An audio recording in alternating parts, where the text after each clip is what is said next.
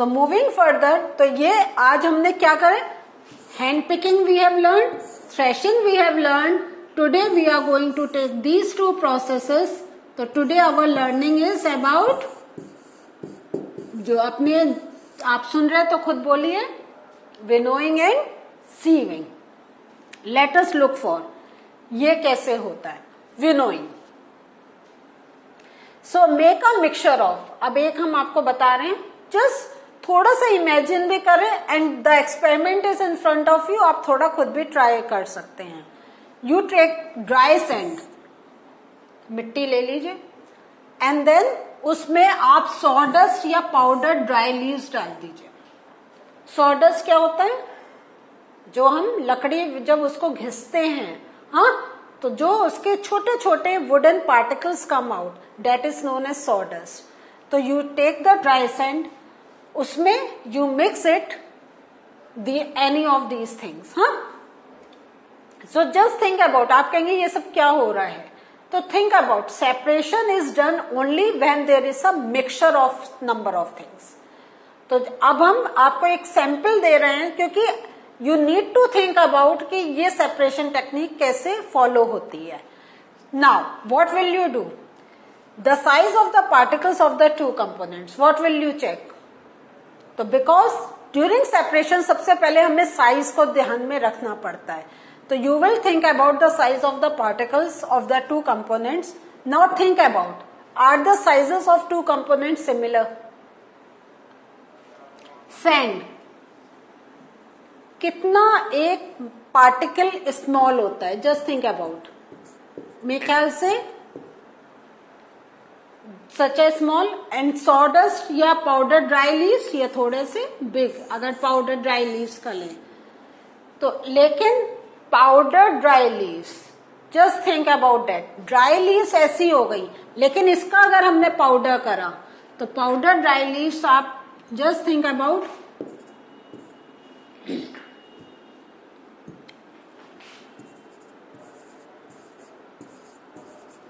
ये देखें हम तो ये जो all are very very small would it be possible to separate the components by hand picking और threshing think about it hand pick हो सकता है, क्योंकि हम we are not saying dry leaves we are saying powdered हमने उसको muscle के, उसको छोटे छोटे पार्टिकल्स में डाल दिया है.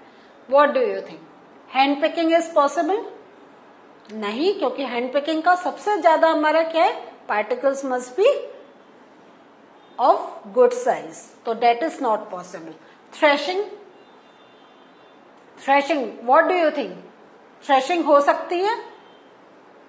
नहीं हो सकती है yes why is it not possible because threshing हमारा होता है जब हमारा जो हार्वेस्टेड क्रॉप में वो अंदर पार्टिकल्स उसमें एंटेंगल होते हैं, अंदर होते हैं और बीट करने से सेपरेट होते हैं। तो ये तो Is not covered with anything ये this is the mixture so these two processes are not possible अब इसके लिए what do we do we will do winnowing winnowing. Such mixtures are separated by the process of winnowing.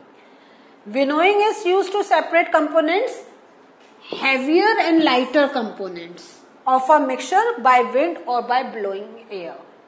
So this is the process of winnowing. This is the process of winnowing. कि we separate components और ये जो components क्या है? कि one is heavier and the other is lighter तो देखें third आपके पास एक और क्वालिटी आई। फ़र्स्ट हमने देखा था साइज़ का क्वांटिटी का। थर्ड हमने देखा था कि जब ड्राई पार्ट में हमारा grain is present now when The weight there is a difference in the weight and the particles are very small then we go with the process of winnowing and अगर कभी आपको थोड़ा सा problem हो learn करने में just take this win and wind the separation technique that takes place with the help of wind that is known as winnowing. You can take this as a hint for yourself. Now first look at the picture इसमें हम ऐसे करते हैं। What do we do अभी मैं आपको और explain करूँगी कि we stand and we put the mixture here यहाँ पे क्या है? मिक्सचर इज़ देयर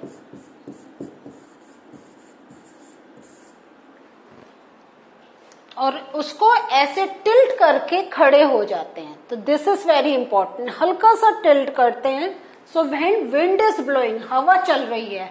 तो lighter particles will blow at one side and the heavier particles will come on the other side so take the mixture to an open ground and stand on a raised platform देखिए raised platform थोड़े से ऊपर होके, ज़मीन में नहीं खड़ा होना है। You have to stand at some height Put the mixture in a plate or sheet of paper. Means, you need to keep this in some, on some base. Uplift the sheet or plate and then tilt it slightly. पूरा नहीं कर देना, नहीं तो आपका सब गया। हल्का सा very lightly you have to tilt it so that mixture slides out slowly धीरे धीरे। तो what will happen when you are tilting in this way you are tilting it जब हवा का झोंका आएगा when wind will blow what with the wind the lighter particles will fly away on one side and the heavier particles will fall down तो see hair ये हमारा वही husk grain के साथ है. So this this is the useful part जो भी हम कर रहे हैं and this is the husk.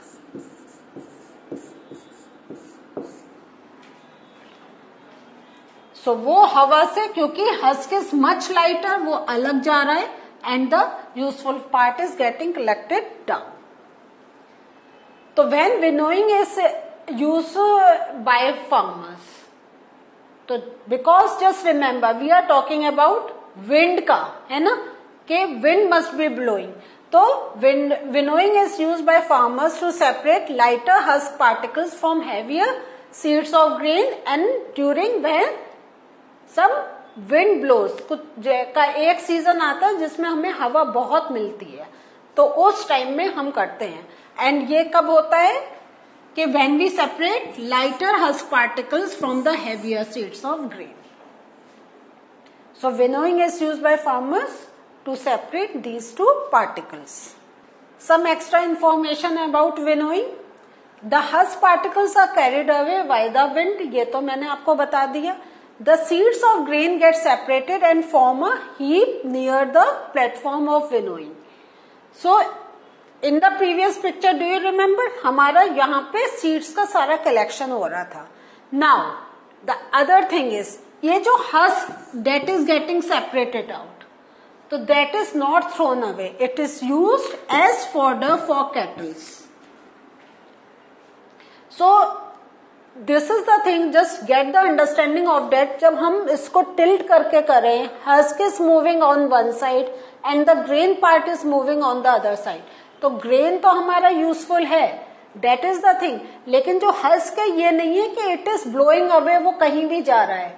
क्योंकि उसका जो विंड के प्रेशर से it is getting collected on the other side ये नहीं है, बहुत दूर कहीं जा रहा है इट इज़ और ये एक जगह ही कलेक्ट होता है. ये नहीं कि इट गेट डिस्टर्ब तो ग्रेन तो एक जगह कलेक्ट है but husk also gets collected in this way and that husk is not thrown away तो we cannot say husk is harmful for us हाँ वो नहीं है. Husk itself has some utility और उसकी यूटिलिटी क्या है? कि it is use as fodder fodder means food for cattles cattles उसको खा लेते हैं. The other process that we are looking for is देखते ही पहचान गए this process is known as sieving sieving ये तो डेली ये देखें again this process light hand hand picking this process is also very common in household देखा है कि बिफोर मेकिंग चपाती, जब आपकी मम्मी आटा लेती है, ये क्या है? दिस इज़ अ सीव उसमें we put flour and shake it why do we do this in this way कि इन केस अगर इसमें कोई बिग पार्टिकल है सपोज़ आपका वीट का ही है, या कभी कभी हमारे छोटे से इंसेक्ट्स भी हो जाते हैं if we are keeping it for a longer time तो they will get hold on here in the sieve और यहाँ पे हमारा यूजफुल मटेरियल आ गया। ठीक है? मीन्स द फ्लावर अगेन और यहाँ पे जो रेस्ट ओवर जो बचेगा that is not usable for us we can don't want to use it तो अगेन द बिगर पार्टिकल्स या स्मॉल इंसेक्ट जो हैं they will get separated from the flour now what are the uses of sieving allows the fine flour particles to pass through it and, and then the bigger impurities remain on the sieve. तो जो मैंने अभी आपको बताया था। And ये जो इसके सीव जो होता है, उसमें क्या है? बहुत छोटे छोटे से देर आर होल्स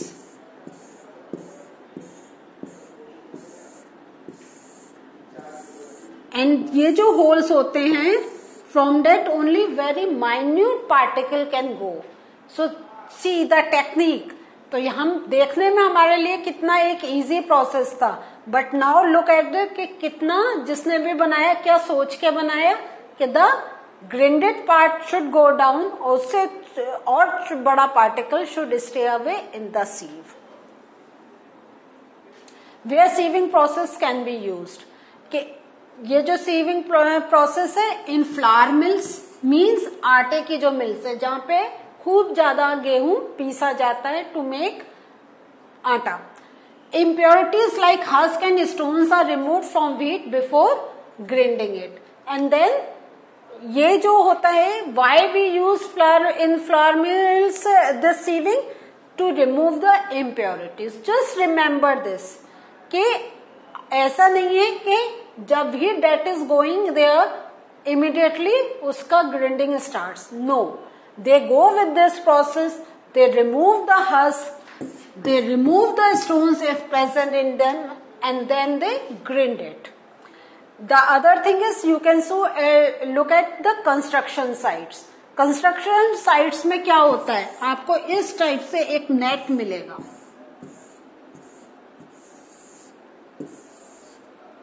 और उसमें what they will do they will put the construction material जो सैंड जो cement they want to put वो इस पर पुट करते हैं तो उसमें जो बड़े पेबल्स हैं या स्टोन्स हैं वो यहाँ पर रुक जाते हैं and the cement gets collected here so sieve ये नहीं है कि sieve can be use only in flour mills या फॉर द आटे का this the, this sieving can be used at construction sites also. So mean क्या है? Purpose क्या है? सीव सीव मीन्स छानना. And छन्ना can be done in different ways so what did we learn today today we learn के two more process of separation एक हमने क्या देखा था? सीविंग का. है ना?